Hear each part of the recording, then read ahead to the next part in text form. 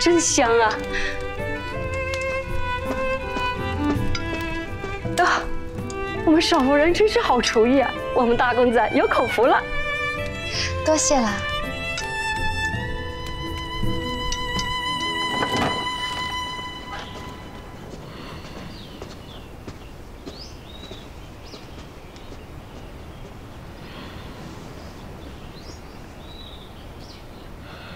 郎君，郎君起床了。郎君，郎君，郎君，郎君起床。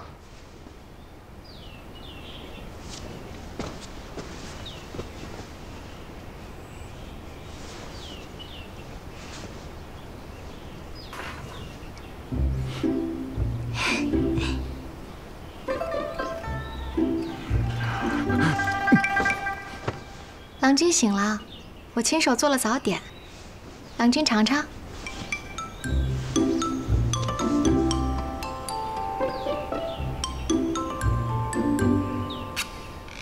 手艺还不错嘛你。郎君喜欢就好，吃完了快点去读书吧，今天还有十五篇书要背。读什么书？昨天不说好了要放假吗？是说好了要放假，但并没有说什么时候放。等郎君考完了秋闱再放也不迟啊。柳如，你言而无信是不是啊？啊？女子出嫁，一生荣辱本就系在夫君身上。日后郎君富贵，我便富贵；郎君落魄，我便落魄。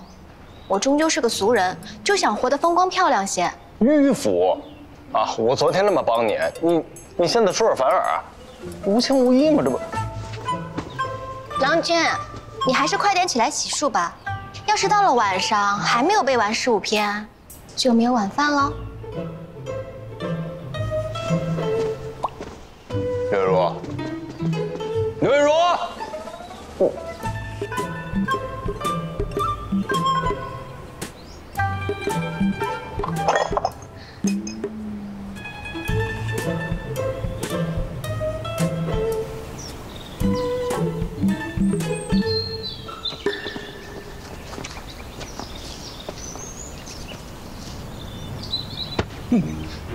好兄弟，能救我的只有你了。他这是把人往死里逼，我是实在受不了。就是，驴子拉磨那也要哥儿一些呀。是，说谁是这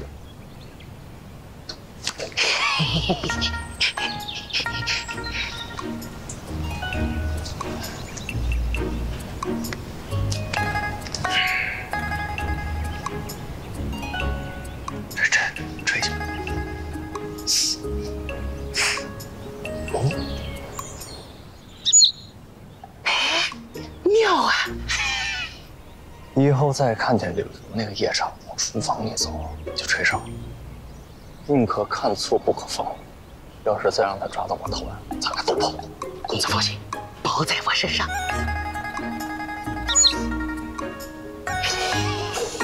行行行行，别玩。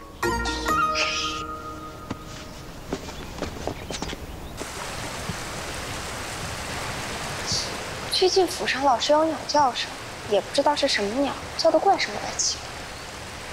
许是天气渐渐热了，鸟雀多了吧？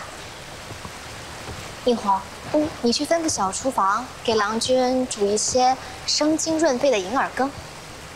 哎，你记得，这银耳羹啊，要熬得久一些，熬出胶质才好。